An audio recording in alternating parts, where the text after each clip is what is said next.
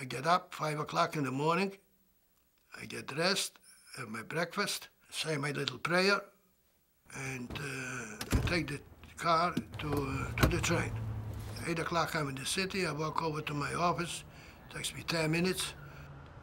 The secret of selling is uh, I get myself the samples in the morning, and I check my stock list, what I possess, and I offer out the goods at the right price, and people appreciate me for coming up and selling them the right merchandise what they need to for production.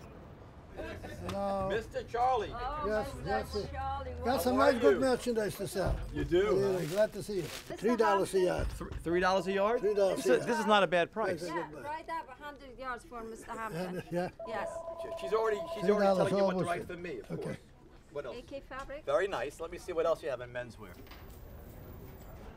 We have a salesman. I would say he's about 86 years old today. He sells me.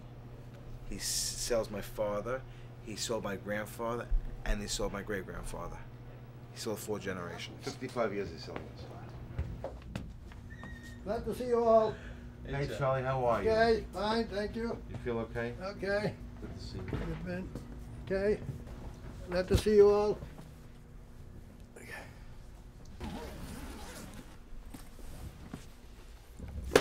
What do you got? Charlie, you have any grays? Yeah, you have grays.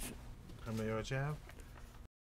Do me a favor, just show me your pocket over there. Show me what you have in your pocket. Show me your pocket, Charlie. Show me your pocket. What you got in your pocket? Do you see Pocket, people some today walk samples. around the pocket like that? Samples, Samples, Orders. checks, samples, orders, checks, orders. the whole nine yards. I gotta really see it. I gotta really see it. Go ahead, Open that for. Okay. Whoa. Here, here, I got some got checks. some- Let me see. It's a Jewish merchant. Where do you see guys like that today with checks? I mean, put it in our regular pocket. He's got a file cabinet inside of his chest.